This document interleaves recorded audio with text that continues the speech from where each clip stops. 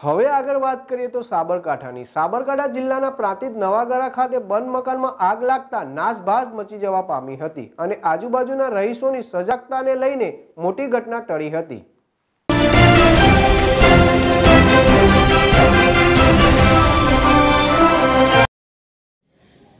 પ્રાંતિજના national highway આઠ ત્રણ રસ્તા પાસે આવેલ નવાગરા પટેલ કોલોનીમાં રહેતા પ્રતિકભાઈ રાકેશભાઈ પટેલ કે જેઓ પોતાના પરિવાર સાથે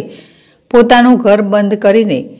કોઈ કામર્થે બહાર ગયા હતા અને જે દરમિયાન તેમના બંધ મકાનમાંથી બારીઓમાંથી ધુમાડા ગોટાળા નીકળતા આજુબાજુ રહીશો દોડી આવ્યા હતા અને તાત્કાલિક મકાન માલિક પ્રતિકભાઈને તથા પ્રાંતિજ નગરપાલિકાને ફાયર ટીમને જાણ કરી હતી, જેમાં સંજયભાઈ ચૌધરી, મુકેશભાઈ પરમાર તથા ગોપાલભાઈ પટેલ સહિતની ફાયર ટીમ તાત્કાલિક ઘટનાસ્થળે દોડી આવી હતી અને મકાનમાં લાગેલ આગ ઓલવી હતી. તો આગ ઘરમાં રહેલ